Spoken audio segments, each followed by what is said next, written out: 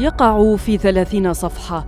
هو السادس من نوعه منذ تشرين الأول عام 2019 يبحث في الانتهاكات المرتكبة بحق المتظاهرين والناشطين ويوجه رسالة تحذير واضحة. إياكم واستمرار حالة الإفلات من العقاب.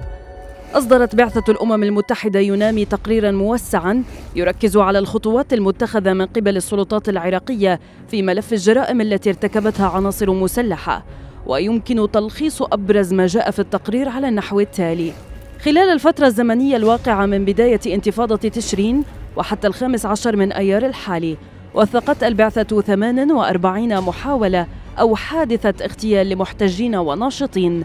معظم الحوادث كانت عبارة عن إطلاق نار يقوم به مسلحون مجهولون وحصيلة هذه الجرائم بحسب التقرير استشهاد ما لا يقل عن 32 شخصا وإصابة 21 آخرين. في وقت لا يزال فيه 20 متظاهرا ممن اختطفهم مسلحون بعداد المفقودين. أما فيما يتعلق بالإجراءات المتخذة من قبل السلطات العراقية لضمان القصاص من الجنات فهذه أبرز المآخذ التي رصدها تقرير يونامي.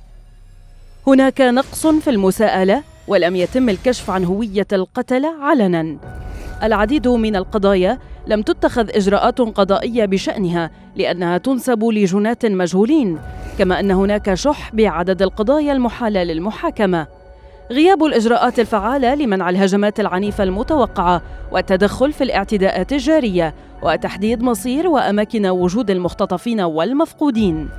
البيئة السياسية والأمنية قد تكون هي العائق في محاسبة الجنات وإنصاف الضحايا وذويهم.